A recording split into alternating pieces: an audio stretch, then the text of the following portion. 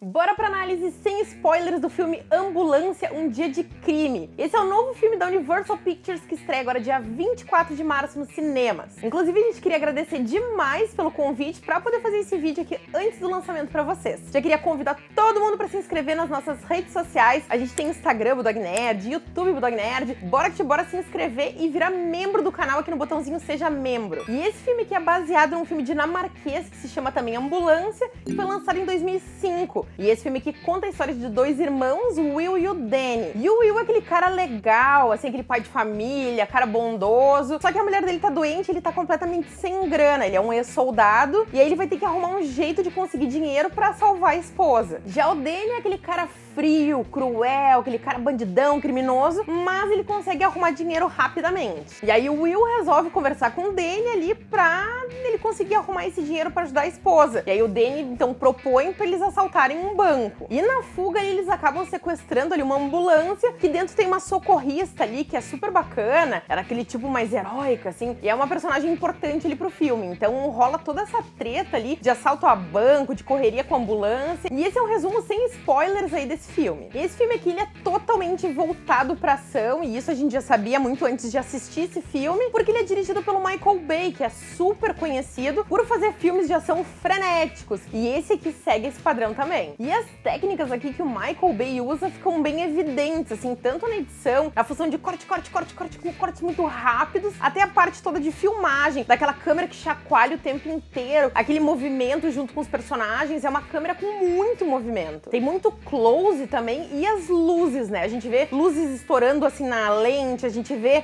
luzes com muitos reflexos, então ele trabalha isso de uma forma bem evidente no filme. E tudo isso que eu citei para vocês são técnicas para deixar o filme frenético. De fato, assim, desde os primeiros minutos do filme a gente já sente que o filme é totalmente agitado, a gente sente que essa técnica ela funciona realmente para deixar o filme nessa pegada. Só que acontece tanta coisa ao mesmo tempo que em alguns momentos tu te sente atropelado pelo filme. E o que me desagradou aqui nesse filme é que esse tempo que foi usado essas técnicas foi muito longo, assim. A gente vê, por exemplo, que essa parte de chacoalhar a câmera, se ela é usada de vez em quando, em alguns momentos, ela funciona legal. Mas quando ela passa o filme inteiro chacoalhando a câmera com muito corte, corte, corte, corte, corte, acaba ficando um pouco repetitivo e um pouco cansativo de assistir. E o filme tem momentos tão caóticos, assim, que chega ali mais pro final do filme a gente sente que o filme é longo demais. E volto a dizer, eu gostei de várias cenas de ação aqui desse filme. Achei elas muito bem feitas, mas eu achei que, assim, foi muito exagerado exagerado, a maneira como elas se repetiram, e isso para mim deixou o filme cansativo. O roteiro ele não é inovador, mas ele é muito envolvente, assim, são personagens muito carismáticos que a gente fica louco para saber mais daqueles personagens. E mesmo que traga ali uma história mais clichê, com o irmão bonzinho, o irmão malvado, a heroína e tal, mesmo que tenha esses elementos já bem conhecidos, é assim, a história é tão interessante que a gente fica colado mesmo na telona. Resumindo, assim, a história ela é um pouco superficial, mas ela é muito interessante. As atuações do filme estão fantásticas, assim, deu pra gente se emocionar com a história dos personagens e a história ficou bem legal. O Yai Abdul Mateen II, ele tá muito bem, eu gosto muito desse ator e aqui, assim, numas cenas mais